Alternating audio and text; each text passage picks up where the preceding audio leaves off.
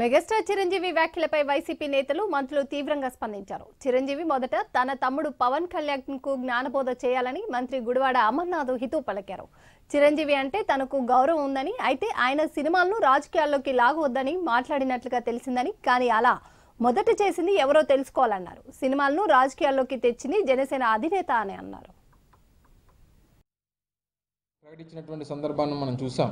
చాలా మంది సహజంగా ఒక ఇటువంటి ఇన్సిడెంట్ జరిగినప్పుడు ఓ రెండు రాజకీయ పార్టీలు ఎదుర్కొన్నప్పుడో లేకపోతే రెండు వర్గాలు మధ్య ఇబ్బందులు కలిగినప్పుడో లేదా ఎదురెదురు పడిన పడుతున్నటువంటి సందర్భాల్లో ఇటువంటి సంఘటనలు జరుగుతూ ఉంటాయి.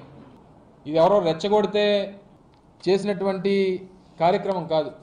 కేవలం కావాలని ఏదో రకంగా గొడవ సృష్టించాలని ఏదో రకంగా లా అండ్ ఆర్డర్ని డ్యామేజ్ చేయాలన్నటువంటి ఉద్దేశంతో చేపట్టినటువంటి ఒక కార్యక్రమం. ప్రభుత్వాన్ని ముఖ్యంగా వైఎస్ఆర్ కాంగ్రెస్ పార్టీని రెచ్చగొట్టడానికి తెలుగుదేశం పార్టీ చేసినటువంటి కార్యక్రమంగానే అందరం కూడా దీన్ని చూస్తూ ఉన్నారు.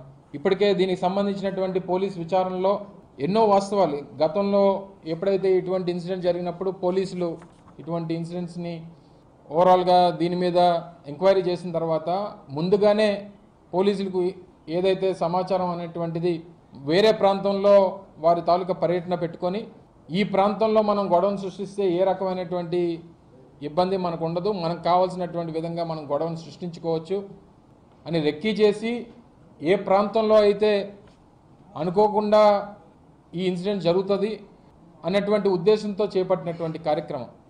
ఎక్స్గ్రేషియాన్ని కూడా ప్రకటి